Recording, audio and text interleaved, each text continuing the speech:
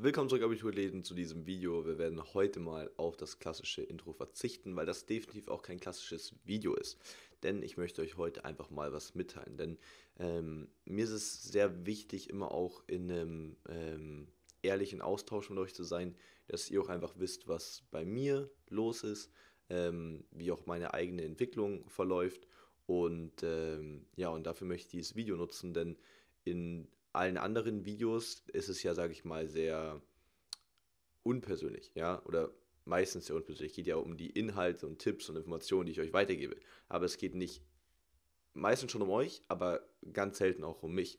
Und ähm, was mir einfach immer super wichtig ist und was für mich persönlich auch in den letzten Wochen und Monaten ein wenig hier auch auf YouTube verloren gegangen ist, ist einfach dieser persönliche Austausch mit euch. Das ist auch der Grund, warum wir ähm, in den, in den letzten zwei Wochen auch gehäuft Livestreams gemacht haben, weil das einfach für mich der beste Weg ist, mit, mit euch wieder in Kontakt zu treten. Und genau, ich möchte mit euch über irgendwas, über eine Sache oder mehrere Dinge, die damit zusammenhängen, sprechen. Und zwar einfach meine, meine persönliche Entwicklung und eben auch diese Thematik, dass ich das Gefühl habe, in den letzten Wochen und Monaten ein wenig, vor allem mit der Community auf YouTube, den Kontakt verloren zu haben. Ähm, und das ist einfach darin begründet, dass wir natürlich unser, ähm, unser Traumabitur-Coaching in den, in den letzten Wochen und Monaten eigentlich ganz 2019 schon jetzt sehr, sehr intensiv ähm, vorbereitet haben, sehr stark ausgearbeitet haben, ähm, unsere Teilnehmer extrem intensiv betreuen und dann ist es natürlich so, dass man irgendwo Abstriche machen muss. Und ähm, Natürlich kamen weiter die Videos, ja, weil das ist mir einfach extrem wichtig. Ähm, aber ihr habt es gemerkt, ich habe teils Kommentare nicht mehr beantwortet, ähm, konnte teils manche sogar nicht lesen. Also ich habe fast, fast alle gelesen, also wirklich 95 Prozent, aber selbst manchmal musste ich, kon konnte ich Kommentare nicht mehr lesen. Ähm, und das, das war auch kein schönes Gefühl für mich, bin ich auch ganz ehrlich mit euch, weil ich glaube schon, dass eine Sache, die, die mich auch immer ausgemacht hat, war dass es mir auch wirklich wichtig war, euch zu verstehen. Ich bin niemand, der sagt, ähm, dass ich unbedingt so super vielen Menschen helfen möchte oder so. Ähm, das entwickelt sich zwar auch immer stärker für mich, ähm, aber was mir immer wirklich wichtig war, war euch zu verstehen und auch das Gefühl zu haben, in Kontakt mit euch zu sein und einfach eine, eine Form von Austausch zu haben. Ja, das ist nicht nur ein, ich spreche hier in die Kamera und jeder zieht sich das dann rein und dann am nächsten Tag wieder und am nächsten Tag wieder und am nächsten Tag wieder, ähm, sondern dass es einfach, dass einfach Gefühl dabei ist. Ja, das ist mir einfach super, super wichtig und ähm, das ist in den letzten Wochen und Monaten ähm, einfach weniger geworden, weil ich natürlich hatte mein Studium, ähm, ganz klar meine Prüfung gestanden an, aber wie gesagt, hauptsächlich das Traumabitur-Coaching, was extrem viel Aufwand war und deswegen ähm, bin ich auch ganz ehrlich mit euch, ich würde es jederzeit auch wieder so machen, weil natürlich hat man nur 24 Stunden und dann muss man halt gucken, worauf man seine, seine Kraft fokussiert und um ein Coaching-Programm aufzubauen, was wirklich funktioniert und für,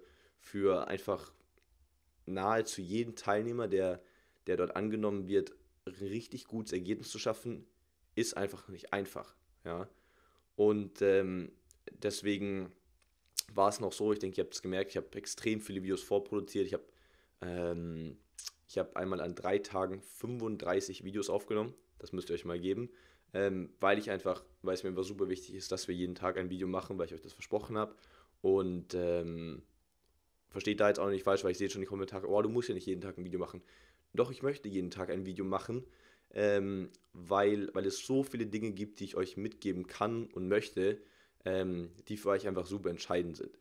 Die Sache, in der ich jetzt in Zukunft, das wird doch noch ein bisschen dauern, da bin ich auch ehrlich mit euch, ähm, aber die, die Sache, an der ich einfach in Zukunft noch ein bisschen mehr arbeiten möchte, ist die Videos noch mehr auszubauen. Also noch ein bisschen mehr vorzubereiten, noch ein bisschen detaillierter zu machen, vielleicht auch visuell schöner zu gestalten. Da muss ich schauen, weil die nächsten Monate sind für mich auch ähm, sehr, sehr unklar. Ja, da werden viele verschiedene Dinge passieren und da ist ein gewisses Level zu halten an visuellem Auftritt immer nicht so einfach.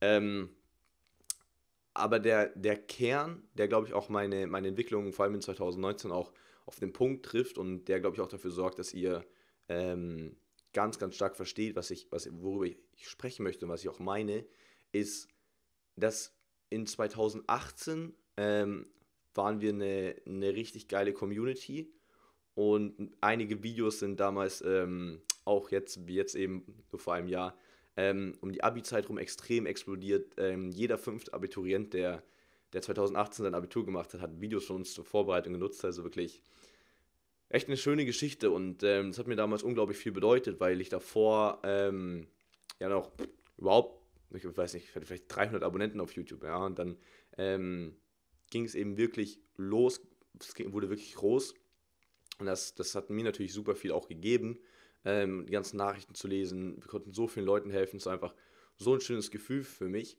Und am Ende raus, dann in 2018, habe ich einfach eine Sache gemerkt. Und zwar, dass es für mich an der Zeit ist, mich auf ein nächstes Level zu heben. Und zwar eben nicht mehr nur zu sagen, okay, ich bin dieser Typ, der Videos macht, ja. Ähm, also ich bin nicht mehr nur YouTuber, sondern ich möchte wirklich Coach sein. Das kam, ich weiß nicht, woher das kam, aber es war auf einmal ein extrem tiefes Bedürfnis in mir, wirklich zu sagen, das ist nicht mehr was, boah, da mache ich mal ein paar Videos, sondern das ist wirklich was Tiefes, Ernstes. Das ist auch mein Beruf, damit verdiene ich auch Geld. Ähm, da, da stecke ich extrem viel Zeit rein.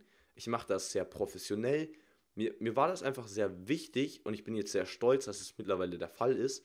Ähm, mir war es einfach extrem wichtig, dass ich für mich sagen kann, das ist wirklich eine ernsthafte, tiefe, sehr gute Sache, die ich mache. Wisst ihr? Ähm, ich weiß nicht, ob ihr euch da reinversetzen könnt, aber natürlich ist es schön, wenn man YouTube-Videos macht, die gut ankommen. Ja, und das war im 2018 für mich erstmal sehr wichtig, überhaupt an diesen Punkt zu kommen. Ähm, aber nach einer gewissen Zeit ist es auf YouTube dann trotz, also YouTube hat trotzdem diesen Beigeschmack von, ganz böse formuliert, Kindergarten. Versteht ihr, was ich meine? Ähm, es sind trotzdem nur Videos.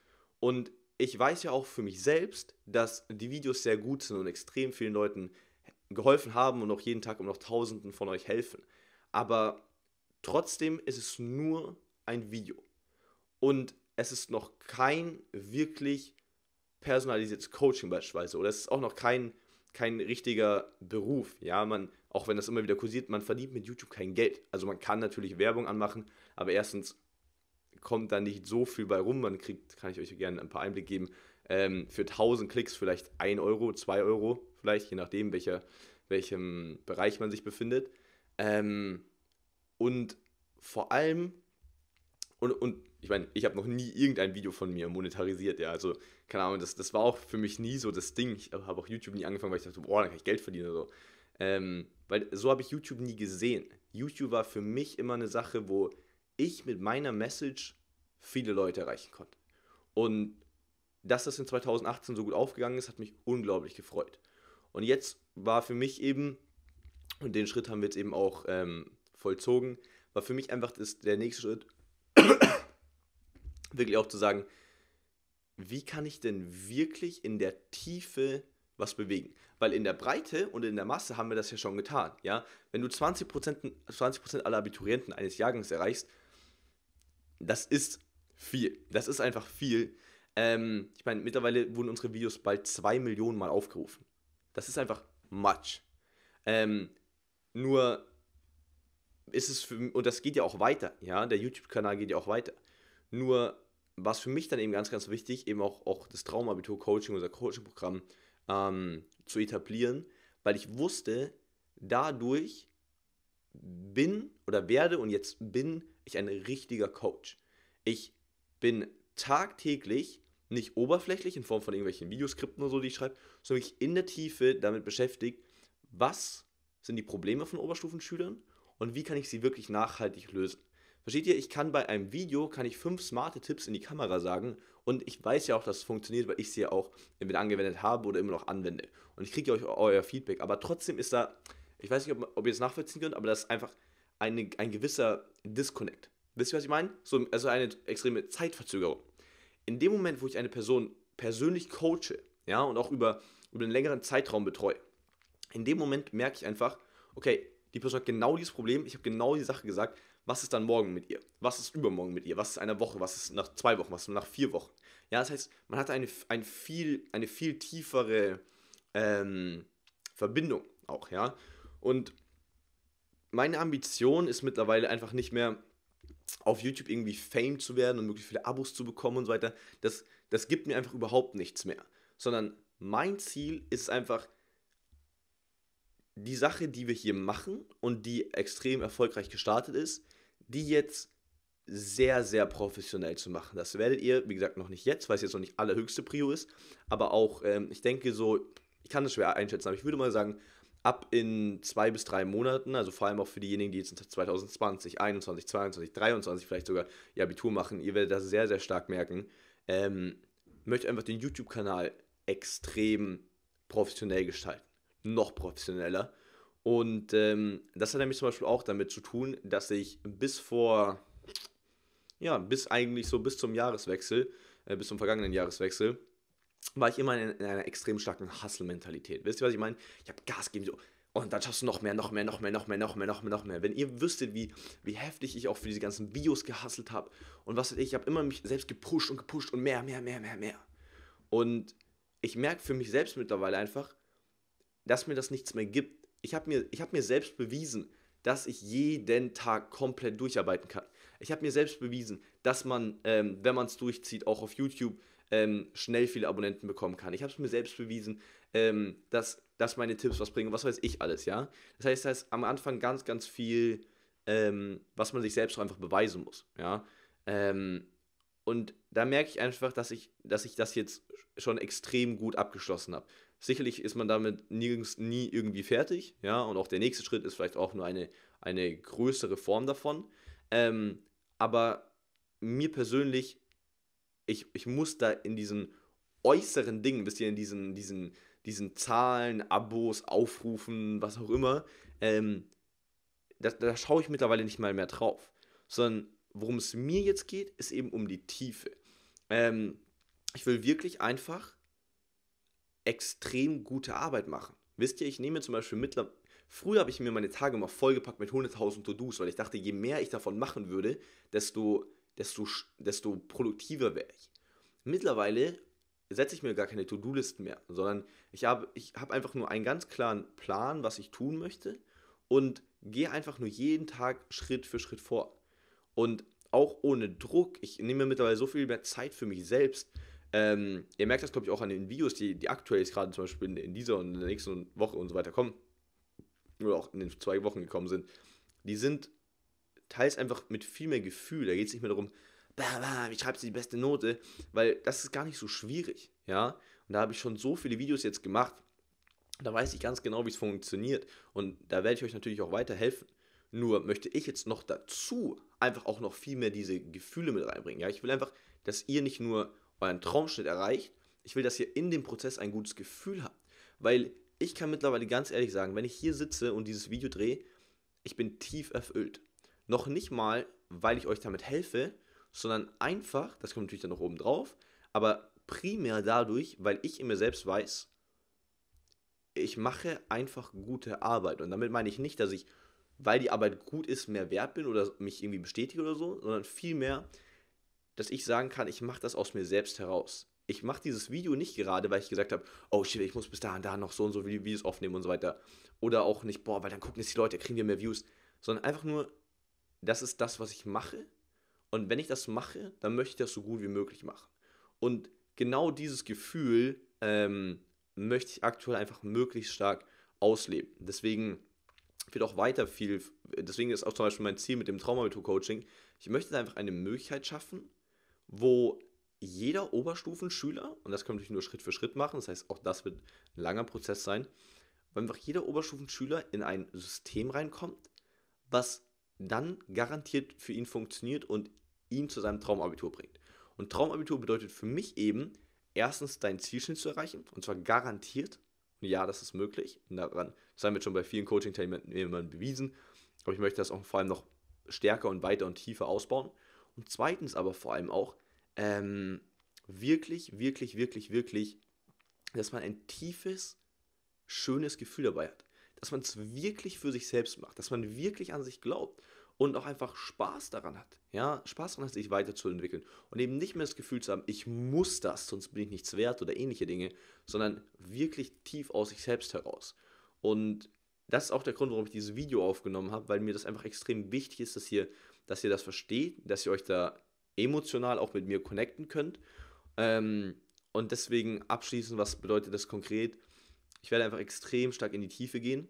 Ähm, ich es wird alles genauso weitergehen. Wir werden das Traumabitur-Coaching noch tiefer, noch intensiver, noch exzellenter für euch machen. Ähm, der YouTube-Kanal ähm, wird natürlich ganz normal so weiterlaufen und vor allem in zwei bis drei Monaten, weil wie gesagt, aktuell müssen noch auch am äh, Coaching-Programm noch viel, viel intensiv machen. Ähm, aber gerade in zwei bis drei Monaten wird der YouTube-Kanal auch nochmal ähm, noch auf einem ganz anderen Level sein. Und ich will einfach nur, dass ihr wisst, dass ihr mir wichtig seid und dass es mir auch ein wenig leid tut, dass in den letzten Monaten das ein bisschen ähm, ich habe schleifen lassen und dass ich, ich weiß, ich kann euch nicht versprechen, wie es in den nächsten Wochen und Monaten aussieht, aber vor allem in zwei bis drei Monaten ich da einfach wieder ähm, noch einen viel besseren Job machen möchte und auch jetzt schon. Ähm, und das war mir einfach wichtig zu sagen. Deswegen schreibt mir gerne eure Meinung in die, in die Kommentare. Ich würde mich sehr gerne, vor allem bezüglich diesem Video, äh, mit euch austauschen.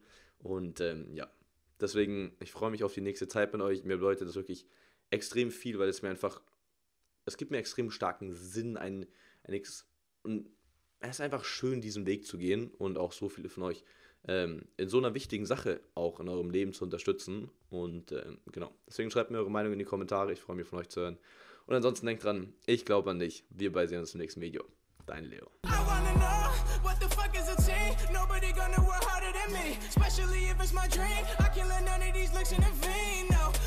Blessings I can't even see. Praying that I get to breathe.